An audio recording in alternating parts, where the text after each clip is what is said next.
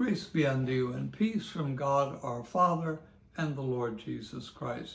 The 28th of November, Monday of the week of Advent 1. Soren Kierkegaard, 1813, 1855. To pray in the name of Jesus may perhaps be explained most simply of all in this way a magistrate orders this and the other thing in the name of the king. What does that mean? In the first place, it means I myself am nothing. I have no power, nothing to say from myself, but it is in the name of the king. Thus, to pray in the name of Christ means I dare not approach God without a mediator. If my prayer is to be heard, then it will be in the name of Jesus. What gives it strength is that name. Next, when a magistrate gives a command in the name of the king, it naturally follows that what he commands must be the king's will. He cannot command his own will in the king's name.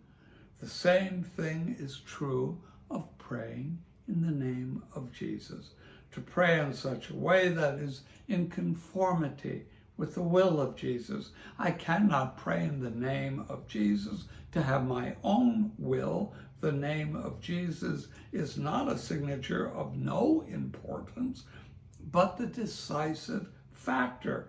The fact that the name of Jesus comes at the beginning is not prayer in the name of Jesus, but it means to pray in such a manner that I dare name Jesus in it. That is to say, think of him. Think his holy will together with whatever I am praying for. Finally, when the magistrate gives an order in the name of the king, it means that the king assumes the responsibility. So too with prayer in the name of Jesus. Jesus assumes the responsibility and all the consequences. He steps forward for us, steps into the place of the person praying. Excuse me. Laurentius Petri 1499, 1573.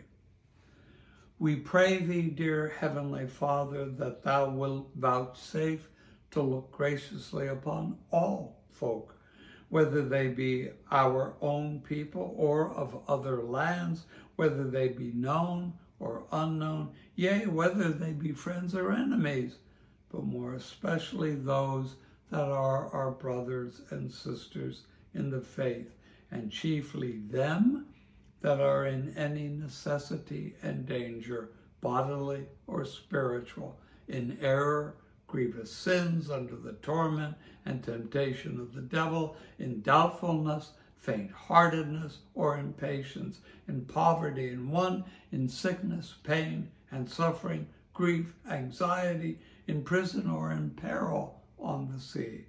Likewise, we pray that thou wilt take care of all poor widows, fatherless and motherless children, women in pregnancy, and women laboring of child, of all in any necessity who need and desire thy fatherly help, that thou wilt have compassion upon all these. Help, strengthen, comfort them to the end that all folk, both now and forever, may praise and glorify thee. Amen.